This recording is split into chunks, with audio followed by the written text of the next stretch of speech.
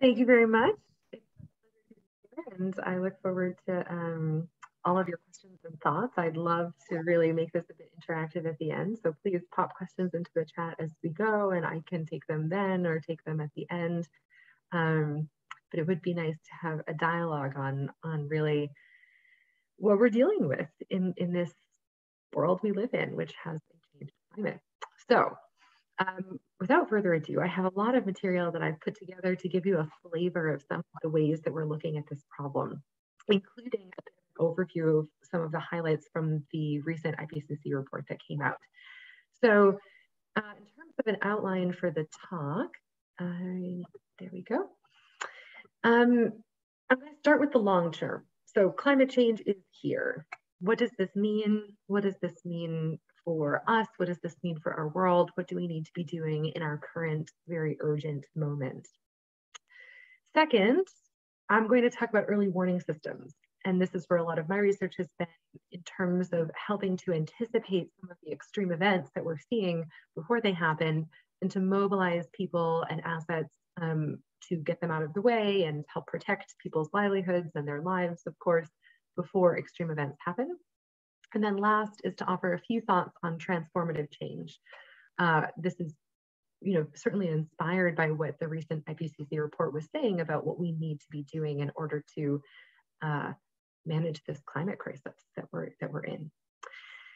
So starting with the long term. So here, this is the title of the report that we just released. It was called Vulnerability, Adaptation, and Resilience. So there are three pieces to this IPCC report. The first piece looks at what is actually happening in our atmosphere, right? So how is climate change manifesting physically in the sky and in terms of hydrology, et cetera. Our report, the one that just came out, talks about how that is impacting humans and ecosystems around the world. And then the third report uh, that will, the third section essentially, will come out in a few weeks and that will focus on how do we stop causing climate change? How do we drastically reduce emissions? We are doing this. Uh, what are some pathways forward that build resilience, but also really reduce emissions and, um, and stop causing this climate crisis?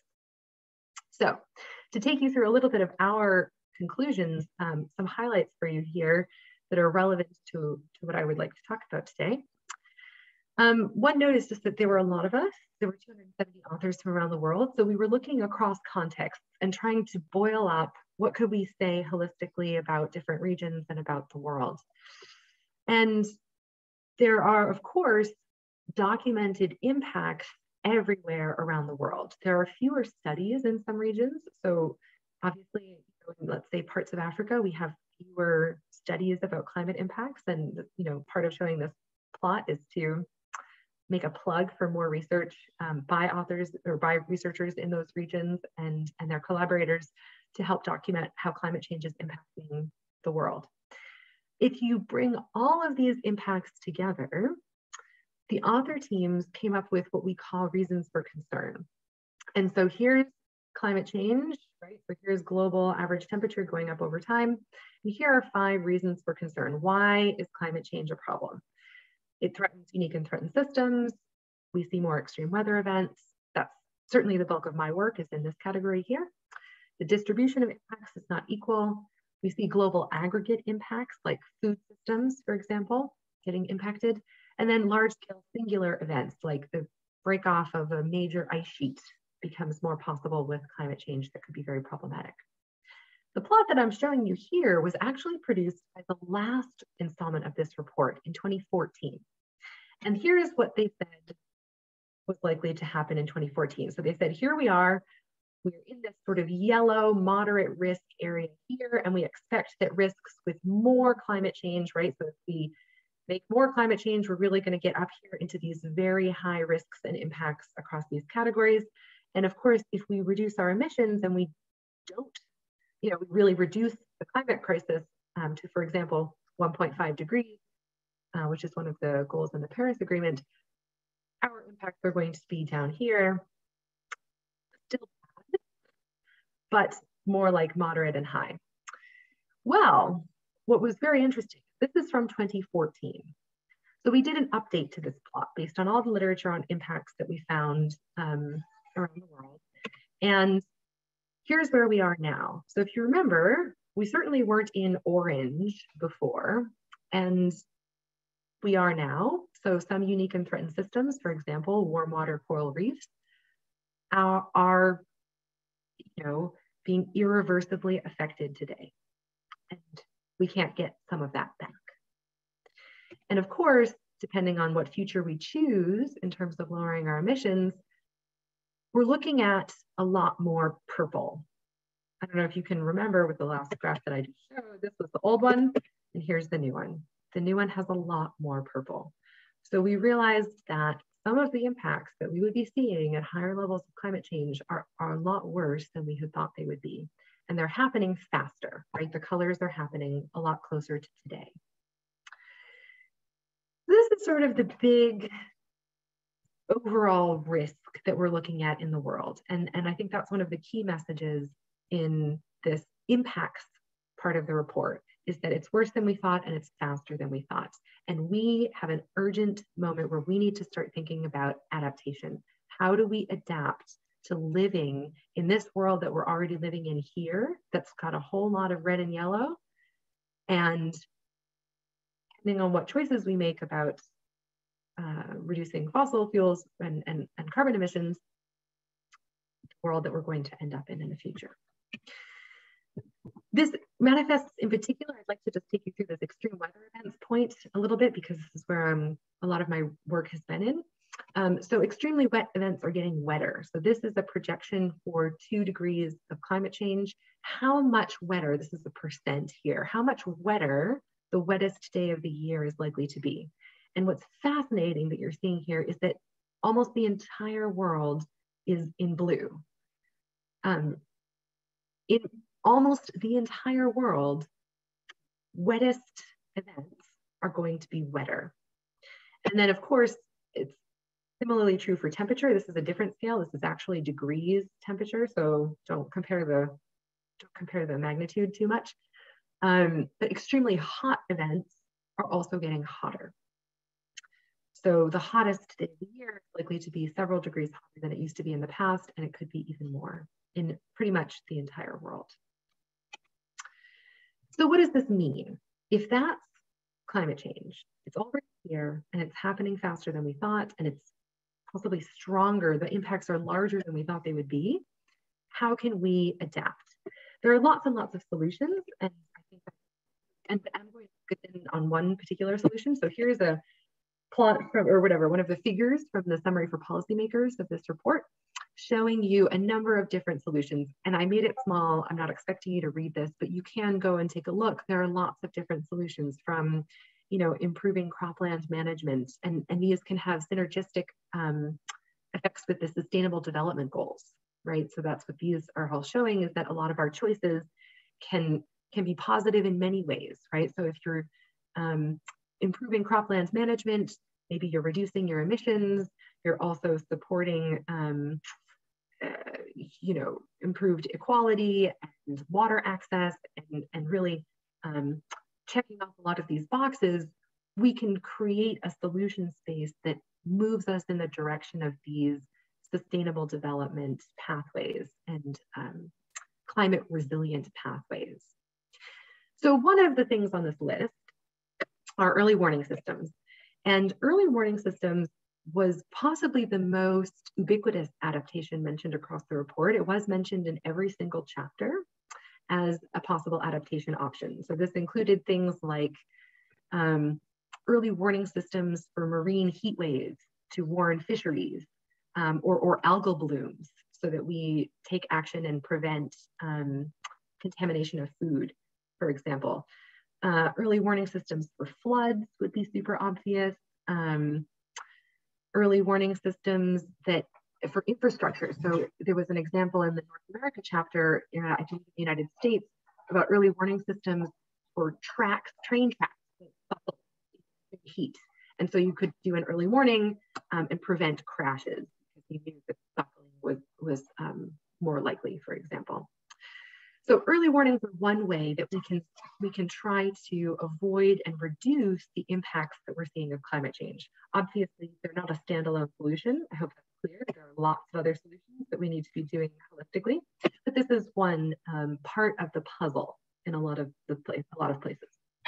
And so um, we have, so I'm leading right now uh, this what's called the Academic Alliance on Anticipatory Action. So we are a group of seven universities from around the world to try to help support the humanitarian sector to use early warnings of extreme events to take early action, right? So instead of waiting until after a flood to ask for flood um, humanitarian, you know, ask for money and to go help people who are dealing with the impacts of the flood, can we do that in advance? Can we get people out of the way? Can we protect their livelihoods um, and, and really reduce some of the impacts that we're seeing?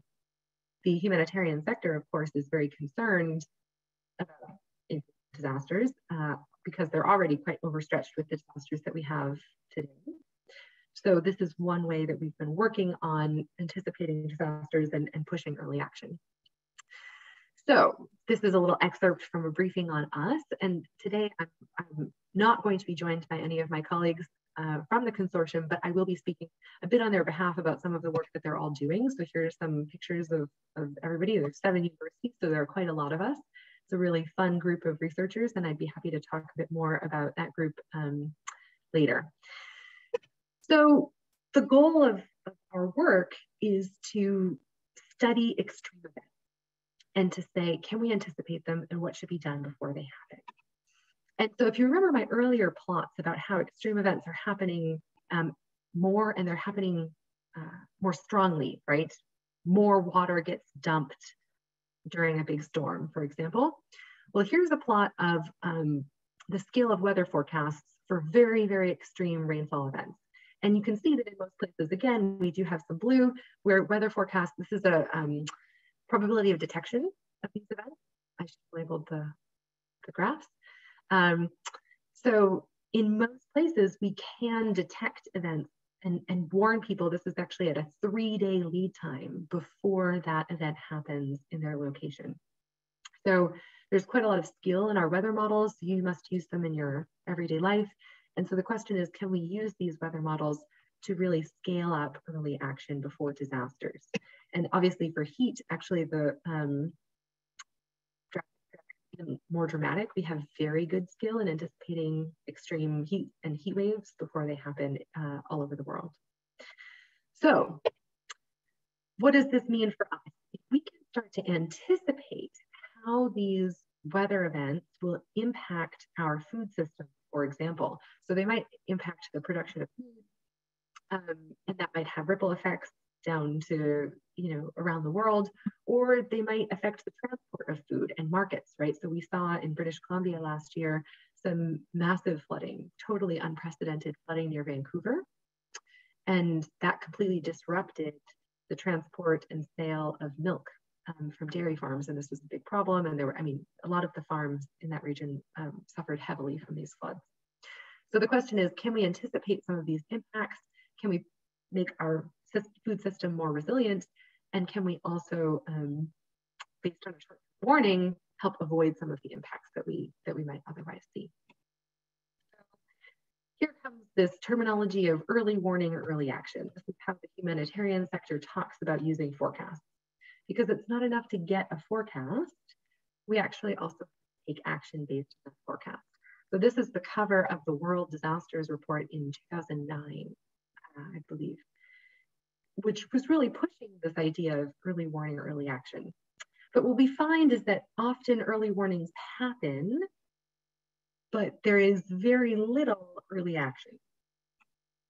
I mean, maybe people, you know, get a weather forecast and they bring an umbrella somewhere, but, but at the scale that we need to really get people out of the way and protect our assets, there's a lot more that could be done in, in the use of these early warning systems to deal with uh, climate extremes. So one of the things that I've been working on for many years is how to make early action more of a default. Can you make it someone's responsibility to take action when they have and make sure that they do have funding available to take that action at the moment. So here are some examples that prompted some of these investments. So in Pakistan in 2010, there were major floods that caused um, many deaths and also a lot of displacement. In Somalia in 2011, very intense drought that caused a famine, which totally shocked the world. It was shocking that something like this happened. Um, and I would say that we are in the middle of um, a number of failed seasons in Somalia at the moment, and there's a lot of concern about making sure we have enough early action right now to prevent something like that from happening again. So based on some of these failures in the past, we said, how can we make early action possible? In both of these cases that I'm showing you, there were forecasts, right? There were lots of early warnings. And so we invented something called forecast-based financing. And we said, okay, based on the forecast extreme event, we're going to trigger the um, dispersal of humanitarian finance, and we're going to have a set of rules, rules and roles and responsibilities to say these people are responsible for taking action in these places if we anticipate flood, for example. So this is what we've been um, designing in the humanitarian sector, and this is off um, quite dramatically with a lot more investment in action across the humanitarian sector. And of course, I would say uh, a long ways to go. So there is a new funding mechanism, for example, in um, this is for the Cross Red Crescent movement, but there are others, UN, for example, there's CERF with the same kind of concept. Erin, Erin, yeah. I'm sorry to interrupt it seems yeah. like we're having some problems. Your microphone is kind of cutting in and out. I don't know if oh, there's no. something you can do on your end uh, so it's a little smoother. Uh, great question. I don't, I haven't done anything. Um, how, how are you hearing me now? Do, was it better if I move a little bit closer to the microphone? I mean, now it's fine. Thank you. It's fine. Okay, how's this? You know what it could be? Maybe sometimes if I turn my head uh, the noise cancellation cuts out my voice. So I'm going to try to look dir directly at you and talk, but please just cut right back in again if, if it happens again. Thanks. Okay, um, so in terms of scaling up this idea of early action, the humanitarian sector and others have formed a risk-informed early action partnership. So one of the targets, for example, is that 1 billion more people are covered by new or improved early warning systems. So this is a dramatic goal that we're working on for the next few years to really rise to the occasion here of more disasters, more extreme events, um, and potentially higher need. So how are we gonna do this? Definitely lots more of these early action protocols, these triggers, more commitments. So we're pushing different um, groups to make sure that they make commitments so that we can scale up these early action programs and make sure that there is funding available to evacuate people um, and that there is you know support for early harvesting and things like this before a potential disaster happens and so what happens on the ground does this work that's our next big frontier is to make sure that of course the concept of early warning early action is obvious. We know that evacuated people can save lives, but can we scale this up in a way that it, it actually really does benefit people um, and, and improves our resilience? So I'm going to show a few examples of evaluations that have been done in the past using Bangladesh as an example, and then talk about a few that this um, 4A's consortium, this Academic Alliance for Anticipatory Action, is working on currently. So in Bangladesh, um, heavy flooding is a, is a big problem. And so a few years ago, there was a forecast of extreme flooding along the um, Brahmaputra River in the northern part of Bangladesh. And so there was a cash distribution given to people who were uh, likely to be flooded in the coming days, knowing that these people were likely to have to move. And the cash was to enable them to move more of their assets out of the way and purchase um, healthy food while they were temporarily displaced. So this was the, the goal of this mechanism. And so we did find, so here's an example of a study that was done afterwards, that people um, did eat healthier food when they were given that cash transfer pre-flood, uh, so that wherever they ended up being displaced to, they were able to eat healthier food. So we saw much fewer reports of having to eat only rice um, for a whole day, for example. Um, in 2020, there was another cast in Bangladesh at this time. So that first one was actually Bangladesh Red Crescent, this intervention. And this one was done by the World Food Program, um, where they supported people with cash, again, along the Jamuna River in the northern part of Bangladesh. They reached about 30,000 families, and they found, again, um, significant, significant impacts in terms of food consumption, both in children and adults, you know, impacts in terms of satisfaction, um, reduced asset loss, et cetera, et cetera. So we do have some preliminary results that cash was probably an appropriate strategy in this particular location. And um, so scaling up this kind of anticipatory action and this anticipatory support in other places where people could be affected by similar disasters could be useful. Of course, cash might not be the appropriate response in different places. And so again, coming back to that group I mentioned at the beginning, we are studying uh, some anticipatory action triggers that have happened around the world to understand were they appropriate in their context, how much did people benefit, and to what extent could we um, could we improve that in the future.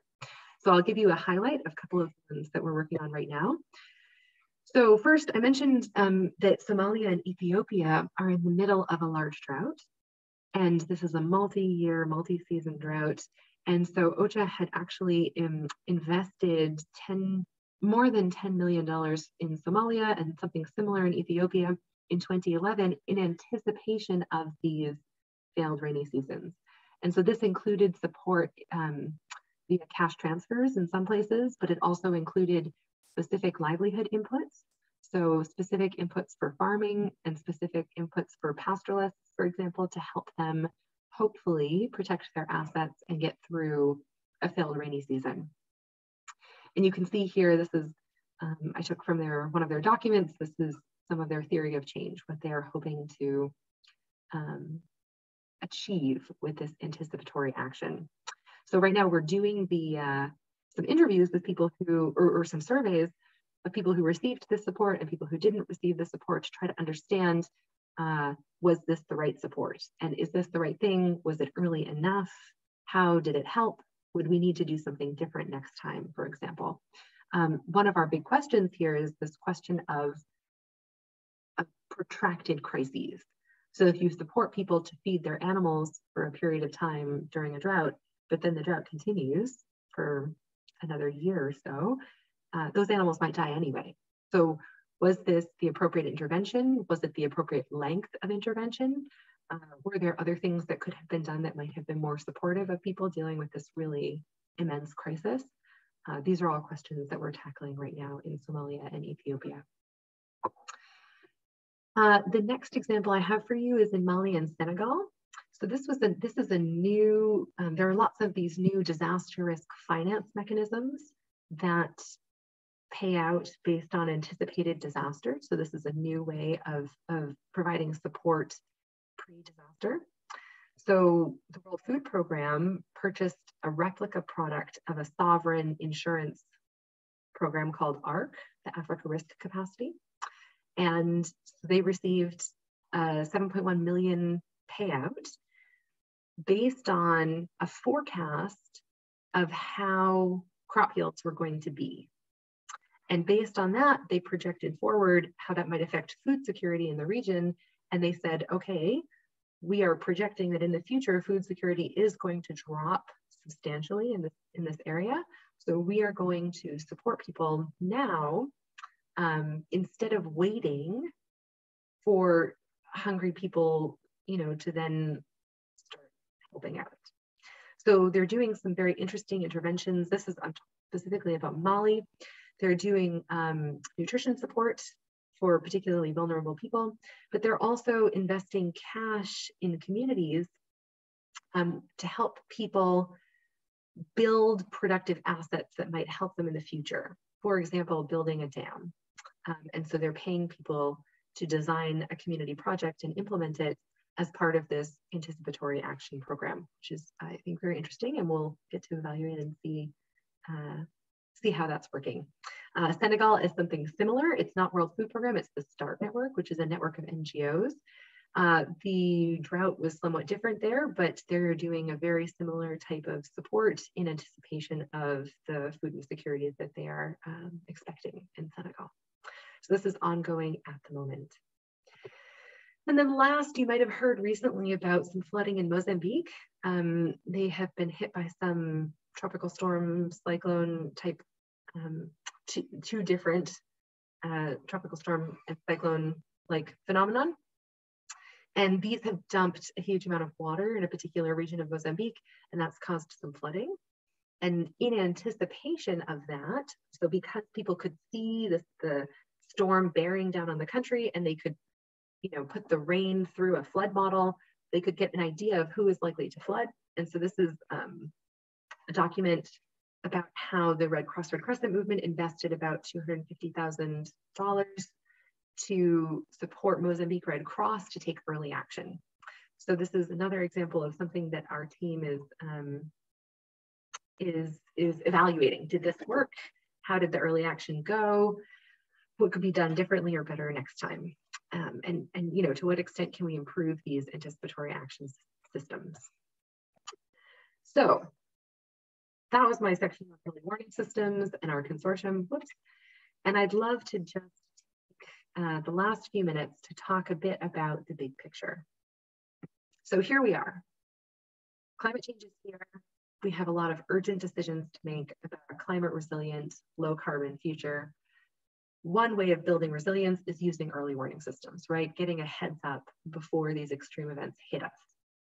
And I would argue that we need more investment in early warning systems to make sure that, that we're not um, being surprised by some of these horrific events that are coming our way. The last question I'd love to pose to all of you, and this can be a bit more of a discussion, I'd love to hear your thoughts, is on this question of transformative change.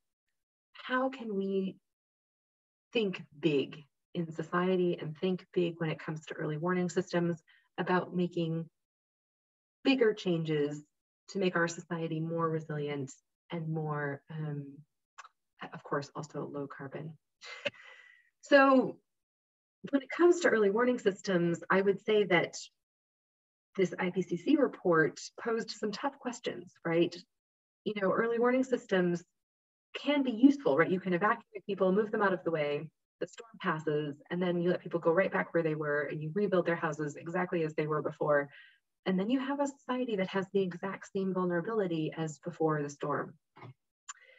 How can we ask ourselves maybe some more difficult and challenging questions about what needs to change in the long term to improve our resilience um, instead of just building back exactly as we were? Can we build back better? And can we um, can early warning systems as an adaptation strategy be part of that process of building back better? And a second point for discussion here would be unprecedented extremes. We are starting to see extreme events that we didn't actually believe were possible. and now with climate change, we are seeing them happen and we now realize that they are possible. Um, for example, the heat wave in the Pacific Northwest last year I think a lot of people didn't, you know, including many climate people, didn't realize that that was even physically possible for, for it to get so hot in that region. And so if we're designing early warning systems and we're designing bigger adaptation projects, how can we make sure that we're considering these unprecedented events and that we're not just um, building early warnings for things that have happened in the past, but recognizing what is now possible today and what could happen uh, tomorrow in our current and, and changed climate. So to give you an idea of where we are in this world, we did this um, global adaptation mapping initiative where we screened um, and coded thousands of papers on adaptation to climate change around the world. And um, there were about 48,000 papers that we dealt with and we coded them all, et cetera, trying to show, trying to, to look for what was the actual evidence that people are adapting to climate change. And while, of course, there was lots of evidence that people are adapting, right? early warning systems, people are building more resilient infrastructure, all of these things, most of that evidence was about um, changes and adaptations that were very incremental. And so here was our plot of evidence of transformational adaptation. And you can see that pretty much for every region, we're looking at low evidence for transformational adaptation with you know a few exceptions that brought us maybe over the threshold to what we would call medium. Um, so in most places, this means that maybe we are, you know, planting our crops a few days earlier, but we're not thinking critically about what kind of crops are we planting? Should we even be planting those crops in this region, et cetera, et cetera? What is, what might need to transform for us to build this climate resilient and sustainable development future? Um, so our answer is so far, this is not, not enough. We're not doing enough on this topic. And um, this would be something that we need to push a bit more in the future. And I think early warning systems, of course, can fall into this trap, but like based on what I was saying earlier about them putting people back in harm's way without talking about transformation. We also found, oh, sorry for the resolution on this one. We also found that people who were living in conflict affected areas um, were, there was very little evidence of people talking about climate change and climate risk in these places. And this can be problematic because if you get a storm in Yemen, um, these people who are living in conflict affected areas often have few, uh, very little access to social services. Maybe they're not able to move as they would normally be able to move. Um, and so they become very, very vulnerable to climate, uh, climate shocks. And we found that most of the papers that we could find, you know, there were very few papers across most of the countries that we looked at um, most of the papers talked a bit about you know, farming and the impacts on farming, but we didn't see, you know, a lot of, of, of work on health, for example, in these very, very vulnerable contexts. So this is another sort of big red flag in terms of our blind spots. Um, you know, and, and how do we make sure that if a massive heat wave impacts a region that has a lot of refugees, are those where um, they're very vulnerable to heat for example. So this is another uh, big red flag gap. And then another one that we found when we did this adaptation review was that equity was not fundamentally um, or systematically considered across adaptation options. And this is going to be an, an adaptation uh, projects. So this is going to be a key one in terms of future thinking on and, and, and success adapting to climate change is considering equity and justice. Who is being left behind? And uh, to keep with the early the examples from early warning systems, we saw this uh, here as well, that for example, early warning systems would be developed in a region without recognizing that um, some of the most vulnerable people and the lowest income people didn't have cell phones to receive the alert message, for example. So these are things that we need to be very cognizant of if we're actually going to be successful at reducing the impacts of climate change. So I wanted to share with you some preliminary results to help people talk about this. This is another line of research that I'm working on with the Red Cross Red Crescent.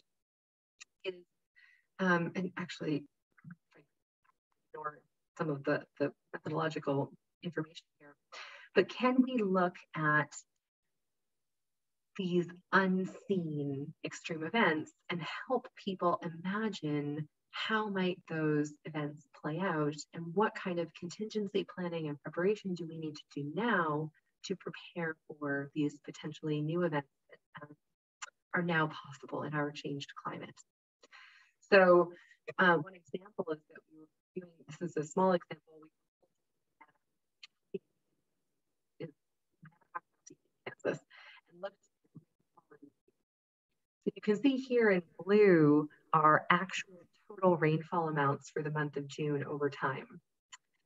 But in black and, and gray are box plots where we reran that year in a climate model and said, oh look, let's run the year 2000 hundreds of times and say, well, what are all sorts of other possible ways that 2000 could have panned out in Nemaha, Kansas? And here are all the different ways that we got. So essentially, have This is people's experience of the world. And then here in gray, we have examples of alternative realities.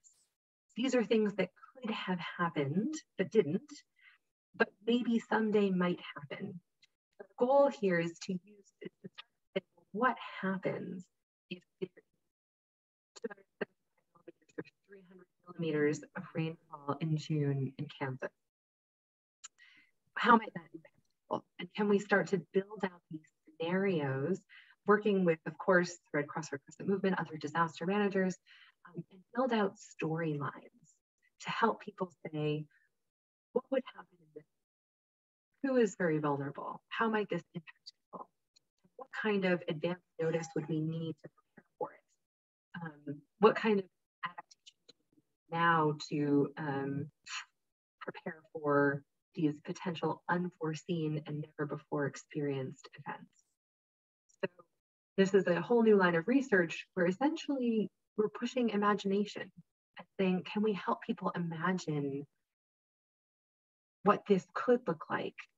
And even though we've never experienced it before, put in place adaptations. So early warnings, but also other adaptations, resilient infrastructure, um, insurance policies, whatever it is, so that we are more resilient and less affected as, as climate change um, is, is here with us today and, and continues to get worse. So I'd love to just stop there and take some time for questions. So I'll stop sharing my screen. I hope the audio was better. Thank you so much. Um, yeah, no problem. So let me see. I would like to start, here we go, uh, with a question as people wrap up their thoughts. And I was thinking as I was listening you talk, how complex this is and how important it is to really invest in, in resiliency and to try to minimize those long-term impacts. Um, so, but just focusing back on these uh, maybe necessary uh, immediate responses to these disasters, I was hoping that you could talk a little bit more about the process and about how to prioritize. So how do you decide, I mean, how to allocate, what to allocate to what kind of projects, what kind of uh, people, families, businesses, um, how do you actually get it to them? And, and, and how do you put a, a price on that? And how long do you support them for to, to, to be able to survive this uh, short-term impacts? Mm-hmm. That's a great question. So I think there's no right answer to that. I think there are some ways that we could approach that problem. We are having problems with your oh, no. sound again. I'm sorry. Hey, I've never had this problem before, so I'm not actually sure how to fix it. If I move a little bit closer, is that better? Mm, maybe. With audio settings. Yeah, I don't know. It seems to come and go. Uh, right yeah, now, you're fine. Very bizarre. Okay, I'm just going to speak very close to the computer because, as I mentioned, I've not had this problem before. Um, and uh, suppress background noise auto. Well, I don't know how to fix it. Um, okay, right. So there are a number of different ways that we can approach the, um, the question that you asked. One way is to say, um, yeah, Zoom is trying to mute background noise. So what's funny is there is no way to turn it off. There's only low, medium, high, or auto. So I'll put it on low, see if this makes it better. better?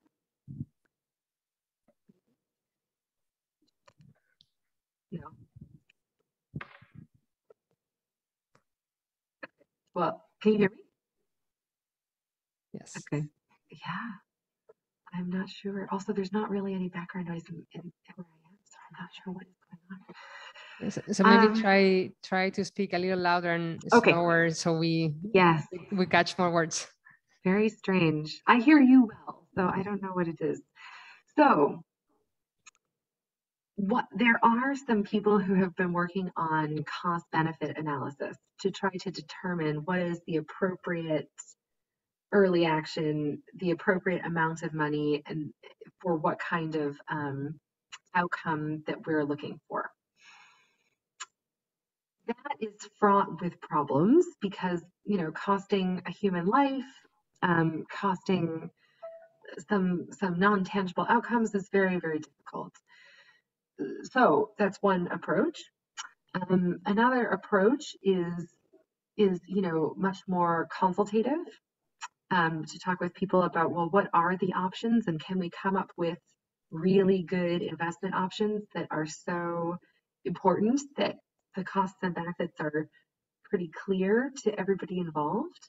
Um, you know, I would say that if we are willing to spend millions of dollars post disaster on relief, you know, there is, it's, it's, you can have a conversation several hundred thousand pre-disaster on preventing the loss of lives or infrastructure for sure. Um, and for infrastructure, it can be easier to actually do the costing. So if you're going to pay for sandbags and labor to sandbag a river, sometimes cost out the lack of damage to infrastructure, for example. Um, but it's not easy, and it's often a very consultative process. So maybe can you elaborate a bit on that? So what is the role of the community, the impacted communities in deciding where the help goes? Yeah, um, it depends on the implementing organization. So yeah, it really depends. So for example, this World Food Program uh, program that I mentioned works with the impacted communities to determine what kind of projects they're going to build. But the World Food Program itself would select the communities, for example. Um, in some other cases, community leaders are selecting who might be the recipients of what kind of support. Uh, so it really, it really varies. Um, and and usually, I mean, so some of the studies that we're trying to do with the um, Anticipatory Action Consortium is to understand from the point of view of, of affected people, what would they have preferred? How did they do? What might have been more supportive um, or, or, or, yeah, what, what does that whole world look like for them? Thank you. So I'll move on to the, the questions in the Q&A now. Uh, the first one uh, asks, how has weather forecasting accuracy changed over the past 20 years? Um, if you have them, can you mention percentage numbers of correct versus incorrect?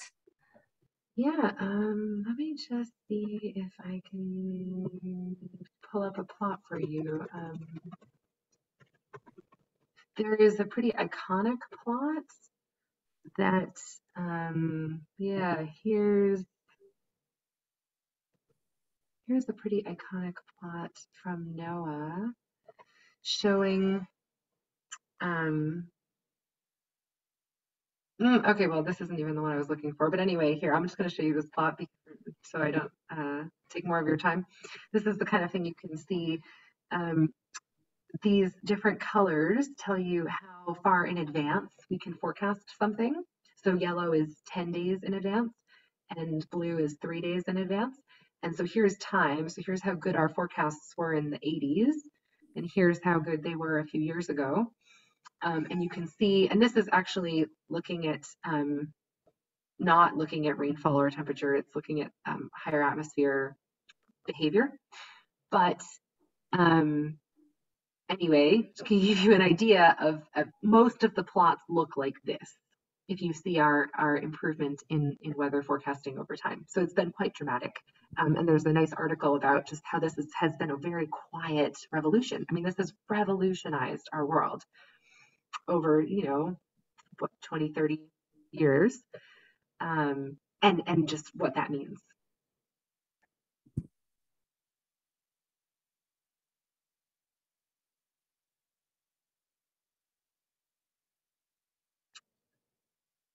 Uh, Sarah, I'm not hearing you. Is that? Sorry, I was okay. muted. Now it's my turn. Um, so apart from early warning systems, uh, what are some uh, of the other adaptation strategies that could be transformational? Um, yeah, great question. So relocation is talked about often. So choosing where we live, uh, that can be, you know, that can be simple or complex. We are seeing rapid urbanization all around the world. So choosing how cities build as people move into cities and where the city expands to, for example, is a really important one um, that can be very transformational. Um, healthcare systems is another big one. So how you know how much people can access healthcare and how easy that is and how good that is can really transform, you know, in terms of the health burden of climate change. That could be a really big one. Um, trying to think of some others different types of cooperation can really break down, um, yeah, you know, in, intergovernmental cooperation or whatever can break down former barriers and really transform systems and transform, you know, how we work together and, and, and what kind of livelihoods we have and, and things like that. So livelihood diversification is, of course, uh, another big example of transformation. Thank you. Um, I have another question here. Uh, let me read. Many people in high income countries have proven highly capable of ignoring forecasts from scientists. Does your expertise give you any insight into what types of concrete events around the world may be impossible to ignore? What future events likely will knock global climate policy out of its complacency? Yeah, let me see if I can read it. Um, yeah, great, great question. So I think we are seeing, so the science of event attribution has increased dramatically over time. So our ability to talk about a specific really devastating event in the context of climate change didn't we didn't used to be able to do that because it requires anyway complex methods and really intense climate modeling but we can do that now and so uh, that heat wave I mentioned in the Pacific Northwest, the fact that that was all over the newspapers saying that this was essentially impossible in a world without climate change, and these deaths were, you know, because of this event, uh, I think that has been important. And little by little, I mean, the big floods we saw in Germany, for example, there was also an attribution study that came out um, for that event saying that it was again made more, that kind of event is more frequent in a world with climate change. So I do think that experiencing extreme events is a huge motivator for global climate policy. Uh, and so I think more events, I mean, you know, Hurricane Harvey, for example, was another one that had an attribution study showing that the, the impacts of Hurricane Harvey were worse because of climate change. So it's sad to say, but I think a lot of these events have been wake up calls for the global community, also because it makes you realize that this isn't about someone else, right? This is about me and, and you and wherever we live, these things can happen to us. Do I have a prediction of which event might be a tipping point in which? I don't know. Um, I think really big hurricanes and cyclones um, tend to be very memorable so that could be a big one. So some of these really, you know, these flood events, because you can see the devastation like in pictures, um, I think that they tend to be the most motivational compared to heat waves, where you really don't, even though more people die from heat waves, you don't, it's not, you don't get the news media in the same way. Um, and droughts are so complex and there are so many factors that influence drought, so they tend to be more messy to communicate about. So I would put my money on major flood events being really big pushers of action. Okay. Uh, hi, Erin. Um, this is Alexandra from Hey. Um, was I, when I was watching your presentation this time, I found myself thinking a lot about the big picture shape of the climate change problem, where we've got, you know, the wealthier countries are driving the change, the most vulnerable countries are the most strongly affected, um, and then the wealthy countries are also in the position of being able to allocate resources and having a lot of power in how to manage these issues. Um, and so I was, I mean, I, am interested in hearing more about how these projects interact with sovereignty. I heard you mention some work on funding community resilience projects, and I'm just interested in hearing a bit more about that facet of uh, what you and these various organizations have been trying to do. Thank you. Yeah. Inequality was a big theme of the report we just wrote, and I did an op-ed for the Boston Globe actually about that um, a week or two ago. So basically, I mean, as long as we have a world with such large inequality, we will see losses and damages from climate change, and we will not see the, the climate resilient future that we're looking for. It's just it's incompatible because people who are very vulnerable get affected by climate change. It doesn't mean that the rest of us are immune. I, I, want to be careful of that argument that climate change is a problem for other people in other places. It's not. It's a problem for all of us, for sure. And so we need to simultaneously recognize these, you know, unprecedented extremes that could happen in Boston, for example, while working very hard on this issue of, of, of different vulnerabilities around the world, inequality and how that manifests and how that makes many people very vulnerable, um, and, and putting in adaptations that support people. We talked a lot about social safety nets, and social safety nets can be used. There's a lot of work now to try to help make them anticipatory, um, to anticipate needs before happen to make sure they reach everyone who is likely to be impacted by climate change, for example. So these are these are certainly ways to to try not to leave people behind because we're not going to move forward if we have if we're leaving behind. Thank you. Uh, I think Alex has a question. Hey, Erin. Thank you. Thank you for a great talk. I, I learned a lot, and you're doing such important work. Um, I guess following up on um, questions of inequality, I guess I had a question about inequality, but also power.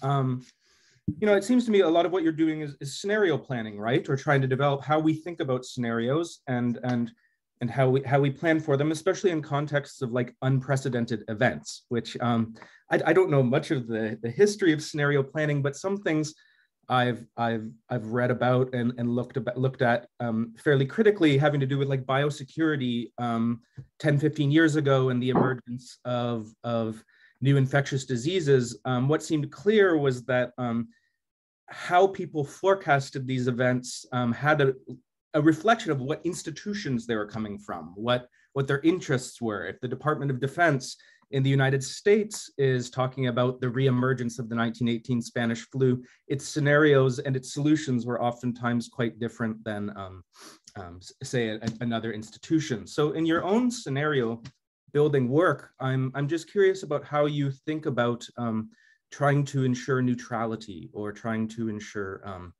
um, balanced institutional perspectives or something something to that effect. It's a great question. And um, one thing I would mention is that, you know, people take advantage of these events. I mean, so, you know, if someone forecasts uh, La Nina drought in Kenya, a lot of people will hoard food and then rise the raise the prices just you know and, and they profit from so anyway so there are all sorts of questions about how to do scenario planning well a lot of my work is with humanitarian agencies that take a very explicit stance of neutrality. Uh, so I have found that helpful. Um, and, you know, and frankly, I, I'm not sure I have a good answer to what you're saying. I mean, we need to essentially make sure that someone's response to climate change doesn't hurt other people, which it absolutely can. There was a lot of work we did in this um, IPCC report about maladaptation. So people who are trying to adapt to our changed climate and end up essentially causing negative impacts on other people, either via increasing emissions or, um, or for example, you can build a nice flood seawall around your city, and then that causes the sediment to wash down and hurt another location. So Um, there are some techniques to try to avoid maladaptation, and that usually involves getting more stakeholders at the table and making sure that diverse stakeholders have a voice of power, like what you were saying, or voice of what? How you say it? Or in voices of authority. Um, and but doing that is very difficult. But I think that was probably the best evidence we found of how people have tried to avoid maladaptation in, in practice. Thank you very much. We're going to leave it at that because it's one o'clock, but thank you, Erin, so much for a really wonderful talk. And we still have a few questions, so I, I will encourage people to reach out to you if they want to continue the conversation, if that's okay. And with that, thank you, Erin, one more time. Yeah, absolutely. Thank you. Thanks for having me. And I look forward to being in touch. All right. Take care. Bye. Bye.